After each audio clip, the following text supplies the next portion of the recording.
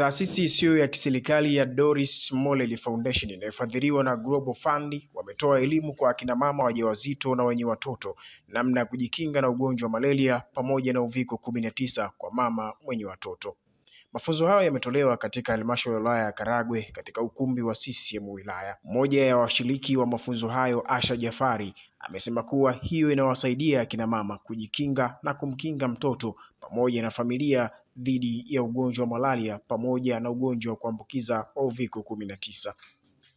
Asha Jafari ni mkazi wa Mkagumuni. Wito wangu kwa wamama wajawazito na wanyonyesha watumie vyema vyandarua ili kuweza kujikinga na ugonjwa huu wa malaria, kwa sababu usipotumia chandarua vyema unaweza pengine ukapoteza maisha na ukapoteza maisha ya mtoto. Kitu kingine wamama wanapuuza hizi chandarua, wanazitumia kwa matumizi mengine kama kufugia mifugo yao, kufugia mbuzi.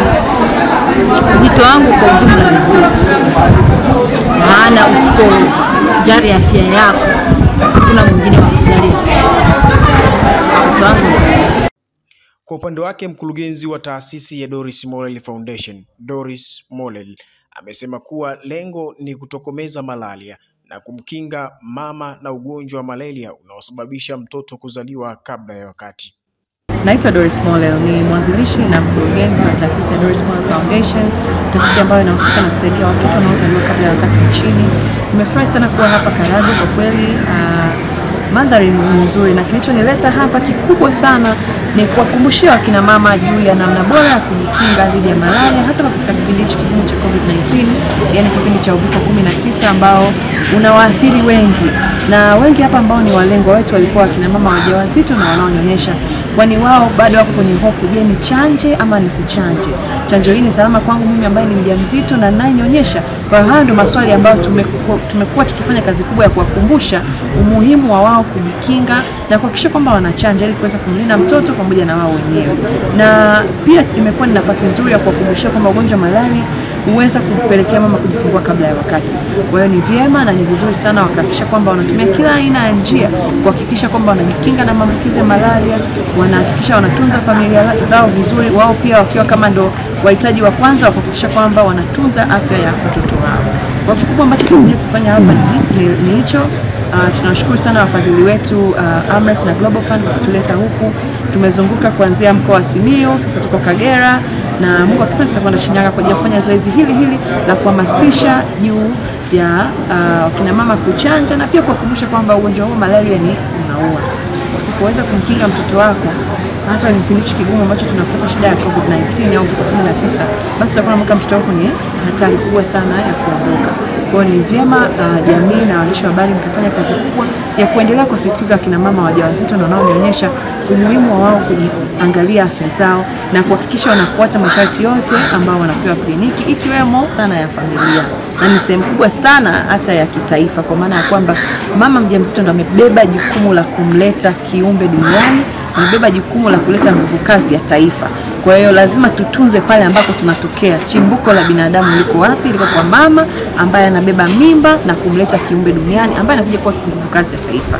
Kwa hiyo tunaanza kwanza kwa kulinda pale ambapo kuna nguvu kazi kubwa ambayo inaleta sisi wote kuwepo duniani. Kwa hiyo afya ya mama na mtoto ni muhimu sana, hasa mama ambaye ni mjamzito, ndio maana leo tunakusanya hapa na tunaendelea kuzunguka kwenye maeneo mengine kuhakikisha kwamba tunapeleka elimu hii kwa jamii ambayo itamsaidia mama na kumkumbusha umuhimu wa yeye kujikinga, kama ilivyo makanisani na msikitini. Si hapo kila siku dhambi zinaendelea kufanyika, lakini lazima tuendelee kukumbushana kwamba tunatakiwa kukaa kwenye mstari mzuri wa kuweza kujikinga dhidi ya majanga na maambukizi mbalimbali ambayo yanatokea huku duniani. Kama taasisi uh, kushirikiana na Amref na kwa ufadhili wa Global Fund, kikubwa ambacho tunakifanya ni kwenda kwenye hayo maeneo. Ndio maana leo tuko hapa, kesho tutakuwa kwenye wilaya nyingine, tutaingia kwenye baadhi ya vijiji kuhakikisha kwamba tunapeleka elimu hii muhimu kwa ajili ya kuwafikia watu wengi, na sisi tunategemea sana pia nyie waandishi wa habari kuhakikisha kwamba mnatusaidia kupenyeza habari hizi mpaka huko chini vijijini kabisa. Tushirikiane kwa pamoja, tumsaidie Mheshimiwa Rais kupeleka huduma uh, ya afya mama na mtoto kila pahali. Ni jukumu letu sisi kama vijana, jukumu letu sisi kama wanajamii kuhakikisha kwamba tunasaidiana na serikali kutokomeza uviko 19. Aidha, kwa upande wake mganga mkuu wa wilaya aliyowakilishwa na Grace Zawadi ambaye ni muuguzi wa wilaya ya Karagwe amesema kuwa halmashauri ya wilaya ya Karagwe imezidi kutokomeza ugonjwa wa malaria ukilinganisha mwaka elfu mbili na ishirini na mwaka elfu mbili na ishirini na moja. Kwa majina naitwa Grace Zawadi Kashege, ni muuguzi mkuu wa wilaya, ila hapa niko kwa niaba ya mganga mkuu wa wilaya. E, leo tulikuwa na wageni ambao ni Doris Moral Foundation ambayo ilikuwa na na jukumu la ku, kuongea na kina mama wajawazito, lakini pia na mama wenye watoto, na sisi wilaya tumeshiriki pamoja nao. Kwa kweli wametusaidia, wametoa vyandarua, lakini pia wametoa na t-shirt, na lengo kubwa ni kwa ajili ya kuangalia kupunguza malaria kwenye jamii. Kwa upande wetu wa Karagwe tuna interventions ambazo tunazifanya kwa ajili ya kupunguza malaria, ambao mojawapo ni kwamba tunatoa vyandarua kwa mama wanaoanza clinic, lakini pia tunatoa SP kwa mama wajawazito, lakini pia tuna tunanyunyizia dawa kwenye madimu kwa ajili ya kuua viluilui. Kwa mwaka 20 na 20 na 2020 positivity rate kwa upande wa Karagwe kwa watu wote ilikuwa 26 lakini kwa 20 21 tumeshuka mpaka positivity rate ya 20 lakini pia tulikuwa kwa wajawazito positivity rate kwa mwaka 2020 ilikuwa 9 asilimia, lakini kwa 2021 tuna asilimia 8. Kwa hiyo tunaona kwamba tunapunguza ile ile malaria. Hii elimu tunapowapa wajawazito elimu pamoja na mama wanaonyonyesha, tunajua kwamba pia wanaenda kueneza, lakini pia sisi kama wilaya tuna jukumu letu ambalo tunaliweka kwenye mpango yetu. Kila wanapokuja kliniki, tunatoa elimu kabla ya kuanza kazi, lakini pia tunakwenda kwenye huduma za mkoba outreach, tunafuata huko waliko kabla ya kuanza kazi. Kwanza tunatoa elimu kuhusu malaria, lakini pia na magonjwa mengine ya kuambukiza kama uviko 19 tunatoa elimu yake, lakini pia tunatoa elimu kwenye vyombo vya habari. Elimu ya malaria haiendi kwa mama tu, inaenda kwa wote, kwa sababu mama anapokuja kuanza kliniki tunamshawishi na tunamshauri na tunashauri jamii aje na mwenzi wake au na mume wake ili wapate elimu ya pamoja.